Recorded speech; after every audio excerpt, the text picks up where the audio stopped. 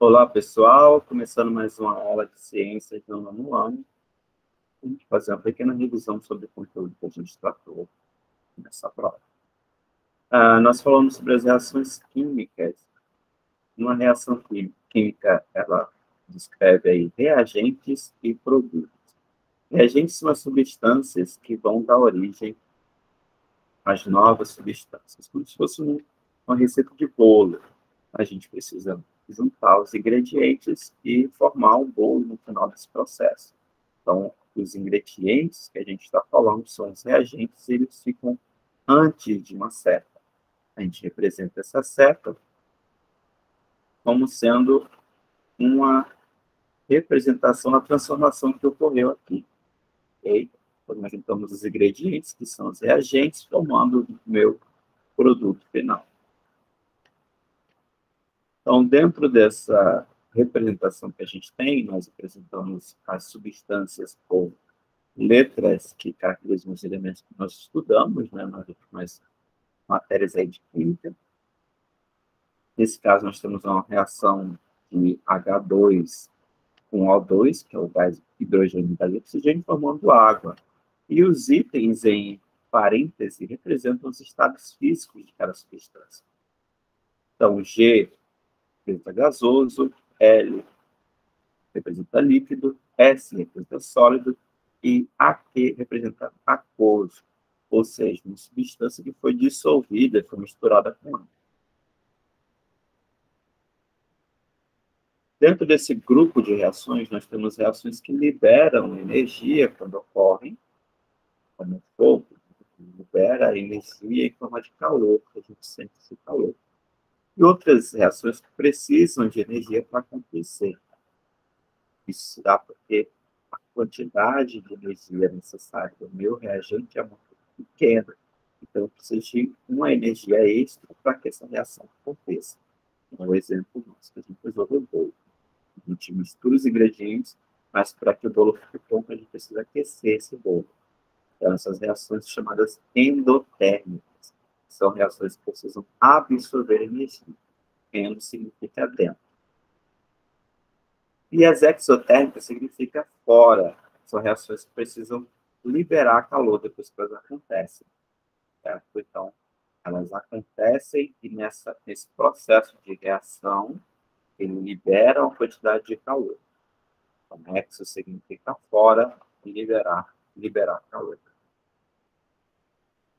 Balanceamento de uma reação nada mais é do que equalizar, né, o balancear, botar numa balança a quantidade de átomos de um lado e do outro. Segundo a teoria de Lavoisier, nós temos que ter uma quantidade igual de reagentes produto final. Ou seja, se eu tenho um átomo de carbono no início da reação, eu vou ter que ter o mesmo um átomo de reagente produto, um átomo de carbono. Por quê?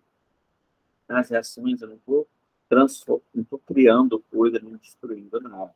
Eu estou só transformando essa substância. Então, o mesmo carbono que participou do reagente, ele vai estar presente no produto final. Se eu usei um ovo na mistura do meu bolo, nos ingredientes do bolo, esse ovo vai estar presente nessa quantidade no final, na forma da massa dele, compondo, dando a, a textura que o bolo deveria ter, certo? Então, eu só transformei a forma que ele está apresentado, mas a mesma quantidade vai estar também no produto.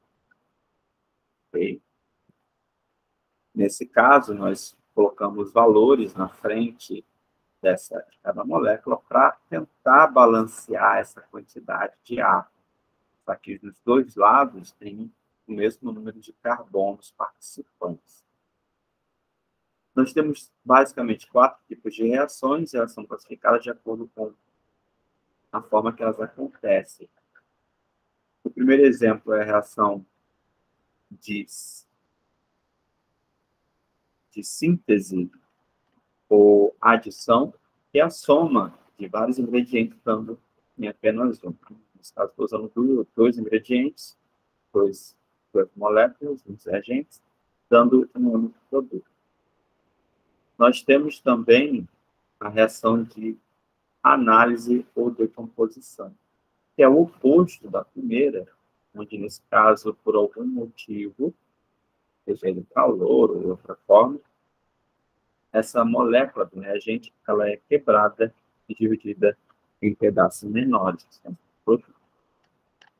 Temos também a simples troca, nesse caso nós temos uma substância simples, o carbono, e ela vai trocar de lugar com o meu reagente. Nesse caso, o carbono, ele troca de posição. O silício vai com o oxigênio e forma o monóxido de carbono. O silício, que antes estava acompanhado, vai ficar agora sozinho. Então, uma troca simples. E uma dupla troca, que é quando os meus reagentes têm substâncias compostas por mais um elemento, e esses elementos mudam de posição simultaneamente. Então, uma troca, uma troca dupla. Ok?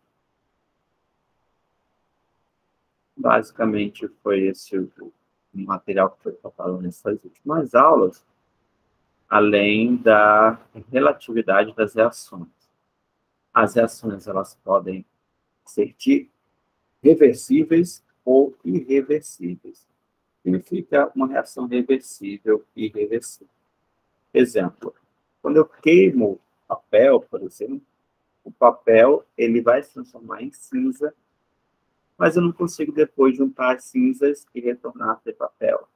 Essa seria uma reação irreversível. Ela ser apenas em um sentido, por isso a gente por uma seta no sentido dos produtos. Quando eu tenho uma reação reversível, isso quer dizer que a reação ela pode voltar a acontecer e regenerar os meus reagentes, a gente por uma seta dupla, como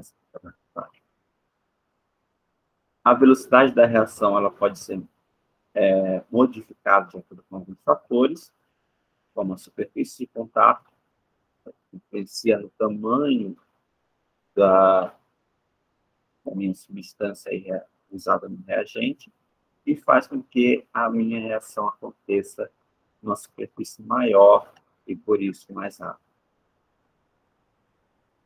A temperatura pode influenciar na reação, no caso, algumas reações acontecem quanto mais quente, melhor, como o bolo. Vou assar o bolo, se eu laço na temperatura mais alta ou mais baixa, eu venho influenciar na velocidade que o bolo vai ficar pronto.